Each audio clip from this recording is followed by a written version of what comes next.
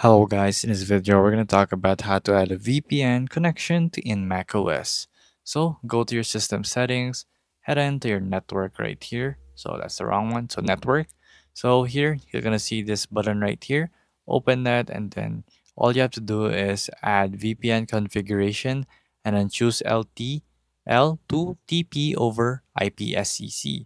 So here you will have to configure the name, the configuration, address, account name, authentication, and of course the machine authentication, and if it's required, even your group name. So basically from there, the options here are also here. So you can disconnect when switching user accounts if you're using two accounts in one MacBook. And you can use verbose logging if you want to, but that's not necessary. So you wanna also configure your TCP or IP address right here.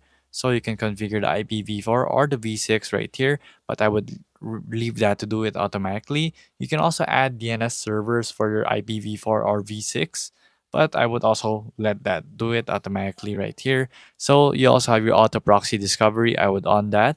And there you go. Mostly these are just going to be uh, for um, advanced users. But basically, if that's all it says in your VPN, then just press create, then you'll be able to use it in your macOS. And it's just that simple to add a VPN connection in macOS.